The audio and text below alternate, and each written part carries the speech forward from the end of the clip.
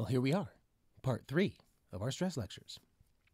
Uh, you guys remember this up here, talking about adaptive stress, building hope, and maladaptive stress, taking away hope and increasing instability. What's really important to understand something. Um, these are not just concepts that people invented out of their butts. and they didn't create them out of their imaginations either. Uh, people used to think these things, but what turns out is that as we've been able to scan the brain with more detail in the last 30 years in particular, we can really see the brain as it's working. We started to notice something that your base needs are connected to your brain stem. Your safety needs are connected to your cerebellum and the intuitive part of your brain called the midbrain. Your sense of love and belonging is connected to your memory sections, which is right here in the middle, and the connective tissue in the, in the center. Your belief in yourself comes from your senses of the world, okay, your sensory organs.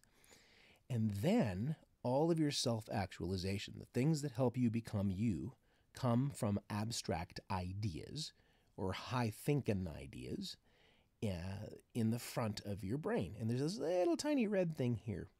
Um, and that little tiny red thing doesn't mature until you're, uh, for women, about 23 or 24, men, 27 to 28. Uh, yes, you're not mature when you turn 18. It takes another 10 years, usually, uh, guys, and it takes another five years for women. Well, what does this what does this mean? Well, all of this kind of works together. Now, remember, there are more connections inside of your brain than there are stars in the galaxy. Um, there are about 80 billion neurons. Each of those neurons have uh, between 10 and 100 helper cells called glial cells. The brain tumor my wife had was made uh, almost entirely of glial cells. All the helper cells got cancer, and that's what caused the tumor. And so I've, I've, had to learn a lot about brains as a result of uh, her illness. Well, all of this kind of works together in a pretty cool way. It helps us figure out our context. It organizes ourselves. It gives us a philosophy about the world. It helps us understand and control our environment. It helps us understand that there is cause and effect. Again, going to the stove, I touch the stove, it's hot. Mm. When things get hot, they hurt.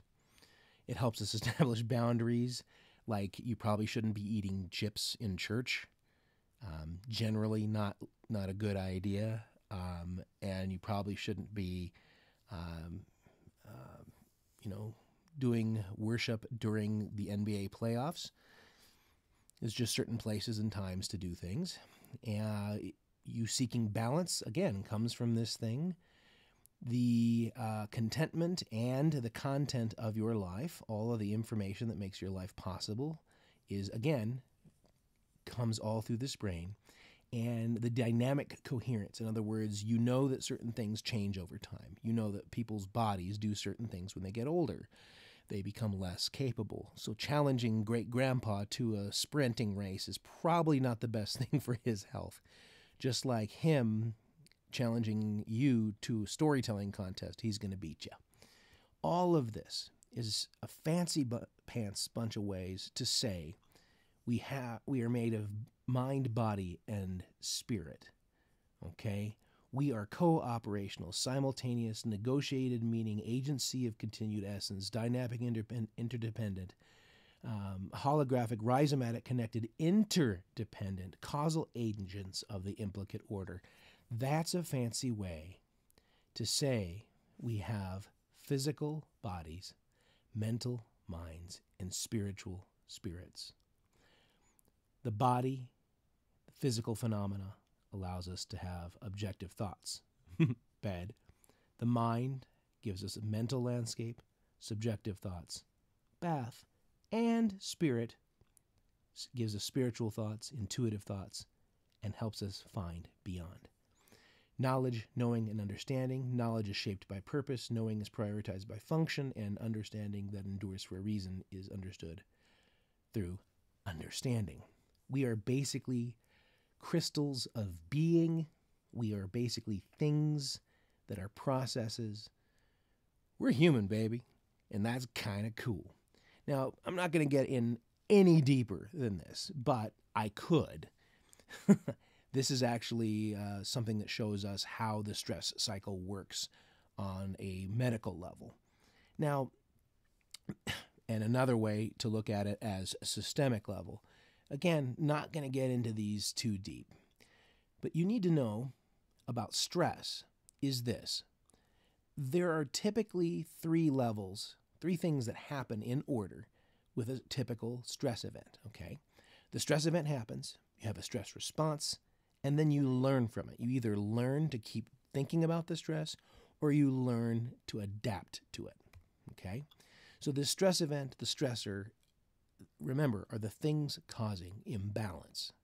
A stress response is a disruption of fancy pants alert allostasis. In other words, the stress response um, is a dis- excuse me, the stress response is a response to an imbalance in homeostasis. Allostasis brings us right back in to a sense of balance. Again, the psychosocial immunoendocrinological system, PMI system, is basically, we'll call it the stress response system. It's a system of many, many, many things going on your conscious nervous system, your subconscious nervous system, your cardiovascular system, your heart, your immune system, your digestive system, your tummy, your hormonal system, your reproductive, all of it. All of it starts happening at the exact same time when you have a stress response. So when you have butterflies in your stomach from seeing somebody you think is cute, okay? When you feel fear from somebody knocking on your door at 3 a.m., when you feel um, excited because you're going to your cousins and you guys always have a good time, okay? All of these things are stress responses. So again, they're not good or bad. All of them are happening at once. And that's why stress can be so overwhelming. What we have to do is to remember that we can learn from the stress. If you have a stress event and it messes with your mind and all this stuff flows through your mind and your body, what you need to remember is that the people who love you are the ones who can help you the most with the stress. They are the ones you can talk to. And even strangers sometimes are good just to talk to because they're not judging you because they can't because they don't know you. The trick here is is to remember these things. Stress is normal. You don't get to opt out. It's not good or bad. And everybody feels it.